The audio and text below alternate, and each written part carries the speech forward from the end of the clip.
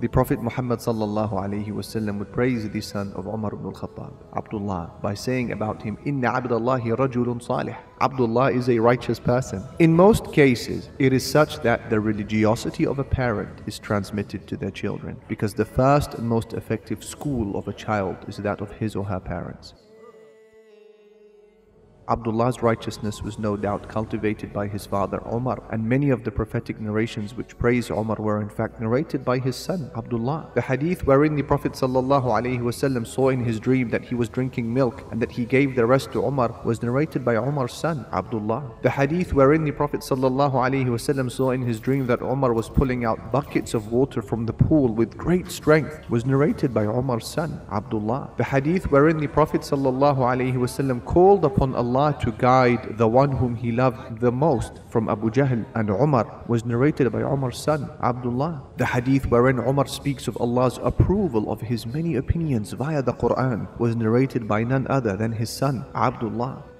Parents may spend many sleepless nights worrying about their children, be it for their education, their manners, their religiosity, their future. However, what we often fail to appreciate is that when a child sees his parent occupying such a status in the eyes of Allah and His Messenger, coupled with the wisest of parental advice, it is only natural that the child will grow up to become a great individual more often than not. If you worry about your child's religious commitment later on in life, then know that the assurance of their faith is largely intertwined with yours.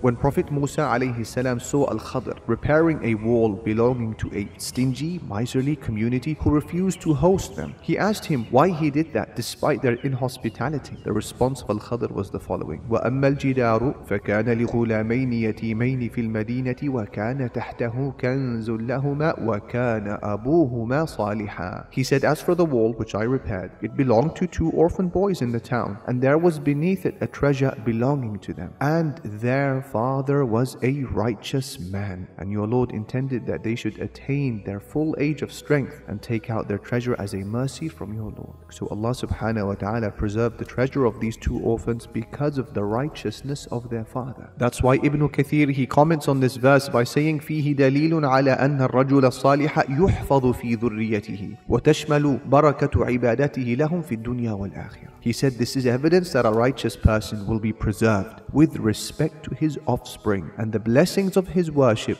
will benefit them in this world and the next. This is also why it is narrated that Sa'id ibn al-Musayyib would say to his son, Wallahi inni la fa'azidu fi salati min ajli salahi. I swear by Allah, I sometimes remember you, which then pushes me to pray extra prayers for the sake of your righteousness. Be the type of righteous person you wish for your children to become. Following the calamitous death of the Prophet Muhammad Abu Bakr carried the Ummah of Islam for two full years, three months and ten days. Just before the angel of death claimed his blessed soul, Abu Bakr summoned several of the companions, seeking their views as per the appointment of Omar. These companions praised Omar with words that he deserved, and as a result, Abu Bakr proceeded with what he had initially considered. He closed all doors of negotiation and selected Umar ibn al-Khattab as the next Caliph, Khalifa of the Muslims. There were some, nonetheless, who had reservations. They feared the harshness of Umar. During the life of the Messenger وسلم, his two closest advisors, Abu Bakr and Umar, had represented different but complementary advisory positions. Abu Bakr represented the wing of compassion and subtlety, whilst Umar represented the wing of decisiveness and force. The companions had observed and recognized this, and some were anxious at the prospect of Umar being in power. After Abu Bakr's blessed soul departed from its body, Umar ascended the pulpit to address the Muslims as their new leader and to address their concerns. guys. He said, I have been informed that people are afraid of my harshness and severity, saying about me, he was severe during the very presence of the Messenger of Allah, and he was severe whilst Abu Bakr was the Caliph. Then what will happen now that he is the Caliph himself? O people, I want you to know that this toughness and harshness of mine has been doubled. However, it shall only be applied on those who oppress and transgress against the Muslims. As for the people of peace and faith, I shall be softer to them than they are to one another. And any tyrant who tries to oppress any anyone, I will put his face on the floor and put my foot over his face until he surrenders to the truth. However, after this, I too am willing to place my face on the floor for the people of goodness and chastity. The conquests that subsequently took place during the time of Umar are beyond the scope of this recording. Such conquests include that of Al-Qadisiyah, which altered the very geography of the earth, and a battle which can only be compared in its enormity and decisiveness to the Battle of Badr. The conquests also include those of Nahawand, Al-Madain, Iraq, Egypt, Azerbaijan. They also include his restoration of Palestine to the Muslims, and the collapse of the greatest superpowers of Umar's time, the Byzantine and Persian empires, which fell to their feet and brought about a complete shift of power in the world. His 10 years and 6 months as Caliph of the Muslims can be described as being 10 years of utmost justice, prosperity, and bliss, achieved through the implementation of Allah subhanahu wa ta'ala's divine laws upon his land.